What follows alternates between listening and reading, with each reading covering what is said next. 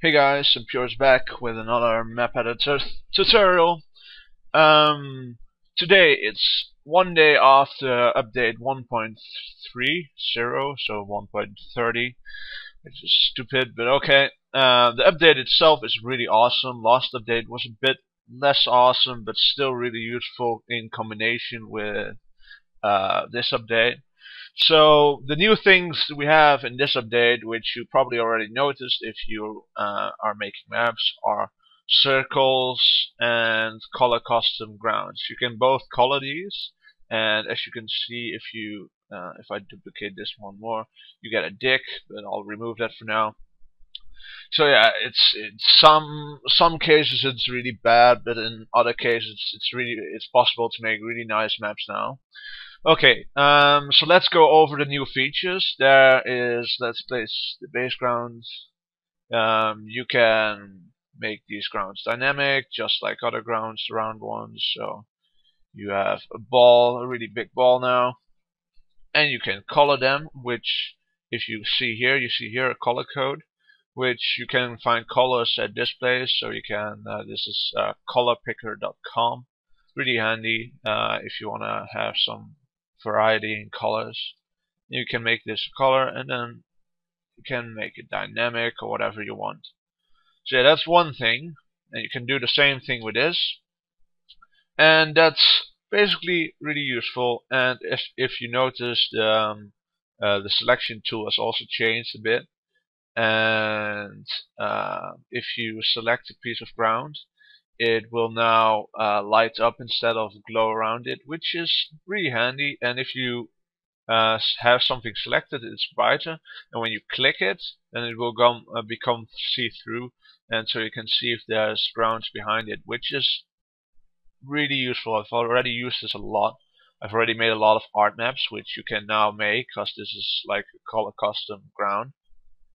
So yeah, this is both the ground and uh, you can also use it as a background. Uh, how do you use it as a background? Which is simple. You just uh, you see these fissure, uh, these uh, properties: collision with mice and collision with grounds. Collision with mice means that if this is turned on, mice can touch the ground. If that is turned off, it's like cloud ground. Mice can walk through. Um, the same goes with, uh, but when mice can walk through, uh, I've not turned off the collision with grounds.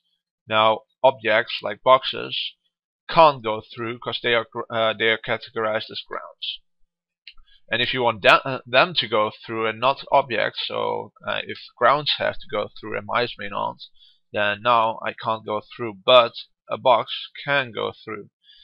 And the last features, and if you disable all, it's basically a nice background object um, you can walk through it and you can make it as big as you want. And yeah you can fill the whole screen if you want but it's not advised to do that. Okay. So yeah it, it's both bad and good that they are there because it will create some luck maps and troll maps. But with the new map system I think uh, it gets deleted really quickly and because of the rotation is mostly uh, better better maps. Okay, I'll show you some maps I made with this, so uh, you have a bit idea what you can do with this. And uh, this is this is Space Core I made.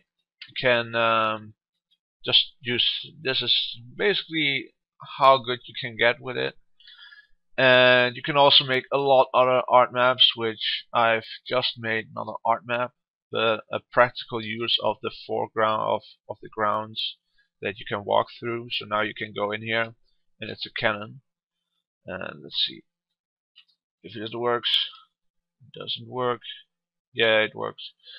But yeah, you can make all sorts of new things with this, which is fucking awesome.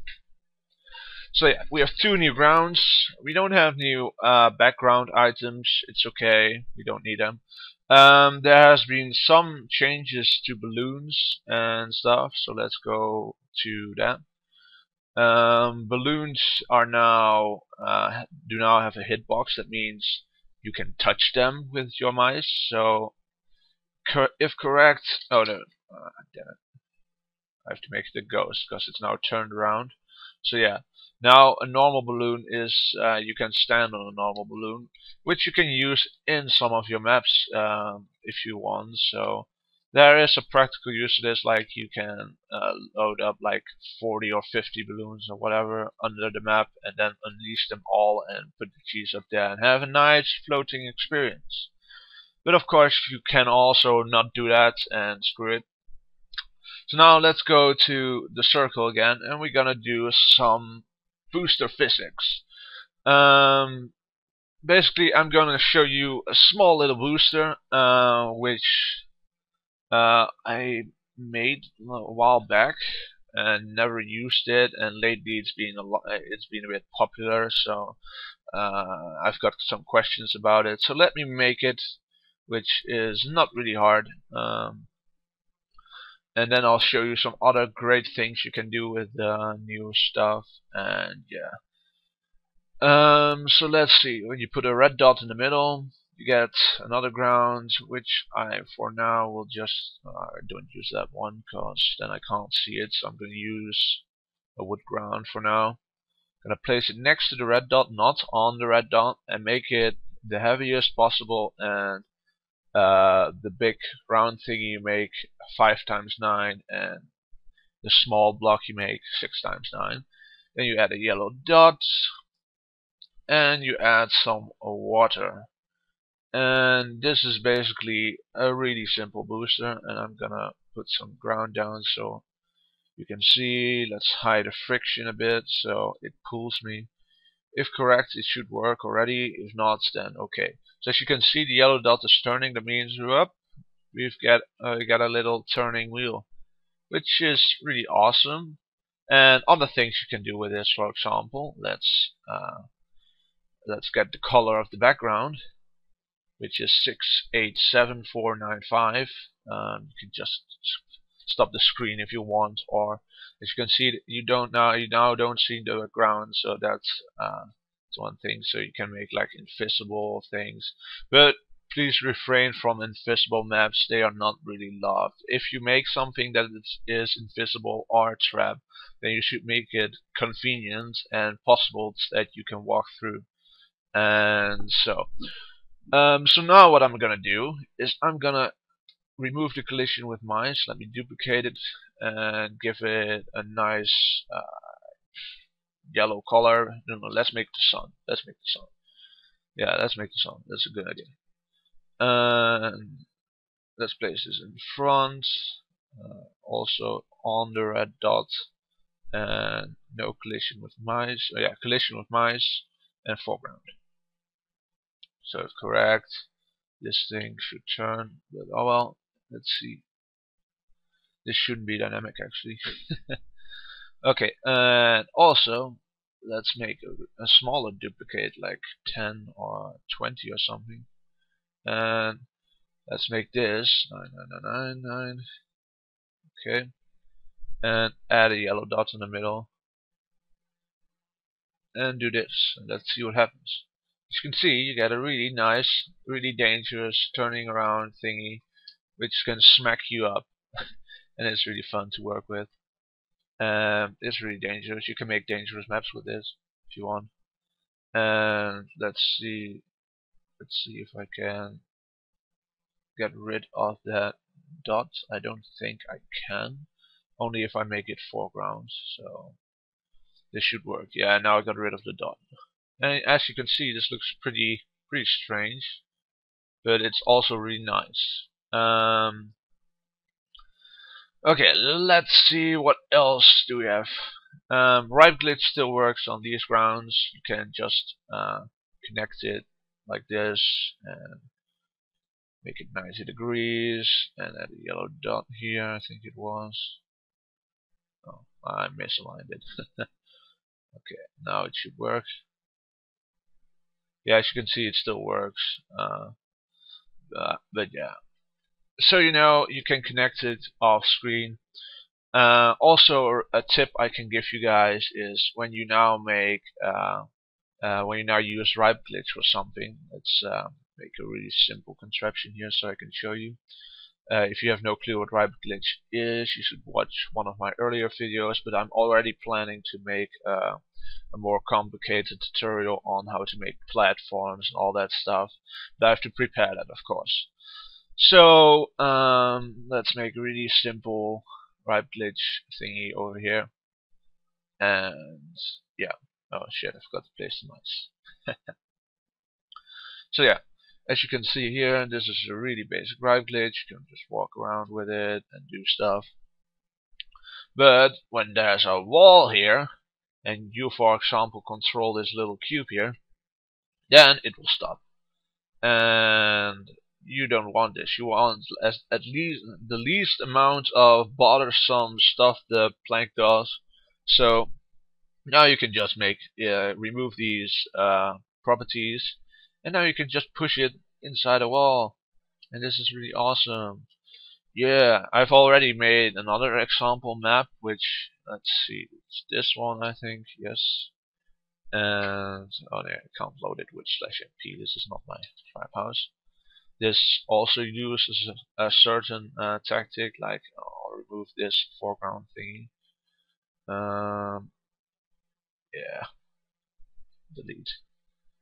So yeah, um, this is a thing I made, which you have like a box around you, which only collides with you, and you can just walk through grounds and stuff, and it makes it appear as there's a thing around you. The only bad thing about it is mice now have a collision with you.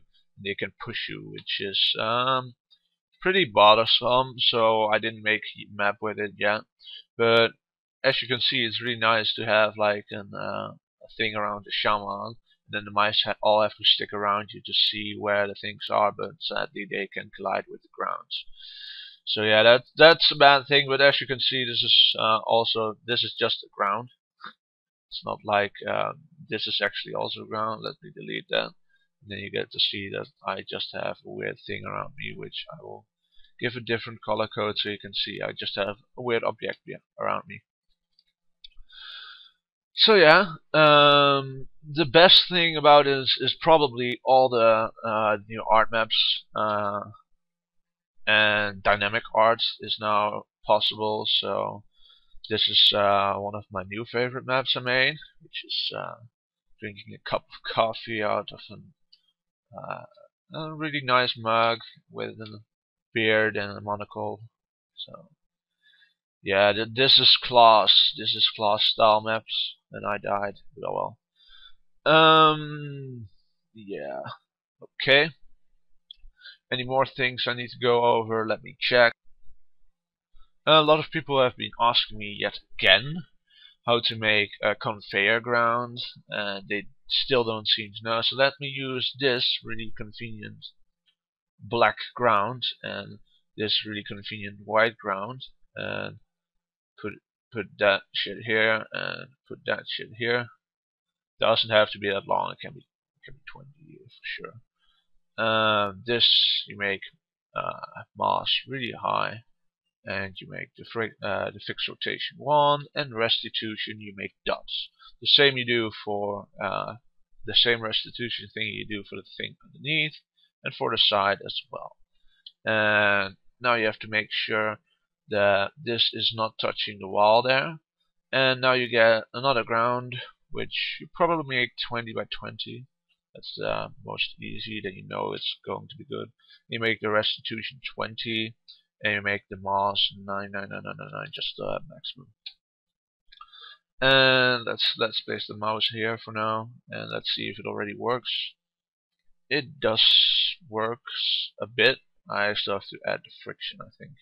Yes, I didn't add the friction yet. So let me make it friction 20. Oh, and now it didn't work. Why does that? I don't know. Okay.